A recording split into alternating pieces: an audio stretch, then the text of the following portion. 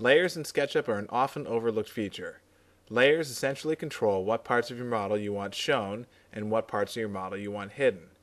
You can have just about as many layers as you want, and you can put whatever you want on each layer.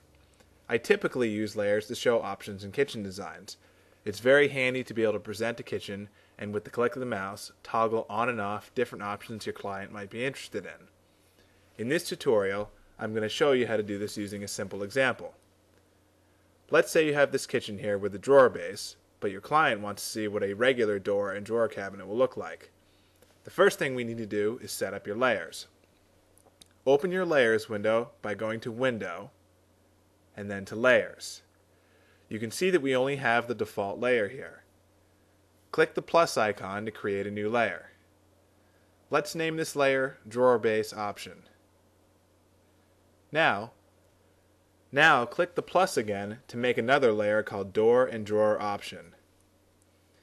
Now that we have our layers set, the first thing we want to do is to move this drawer base onto a layer. To do this, we're going to need to turn on another toolbar. Go to your View menu, and then to Toolbars, and select Layers. On the Mac, you do this in the same area under the option Tool Palettes. There, just drag Layers onto your toolbar. Now you can see that we have the layer selector on our toolbar. Next, we need to select the drawer base with the arrow tool. Once you have it highlighted, use the Layer tool to change it from Layer 0 to the Drawer Base option layer.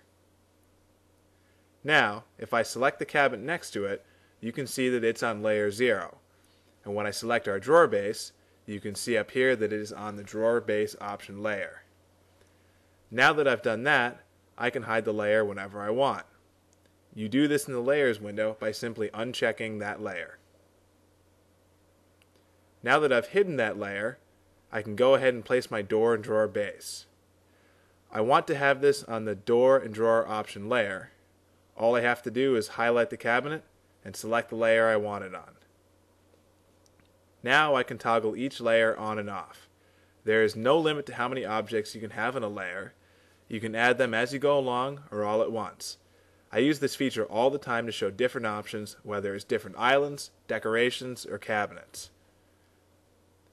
There is one last thing you should know if you use scenes in your model. As you create scenes, they remember all of the settings of the current view, including what layers are shown or hidden. You can turn this setting off so that when you change scenes, your layer settings always stay the same. To do this, open your Scenes window, go to each scene you've created, and uncheck the setting for visible layers. Now, when you add or change scenes, they'll always show the last settings you left your layers on. This is a great way to give the presentation and then show the options as you go along.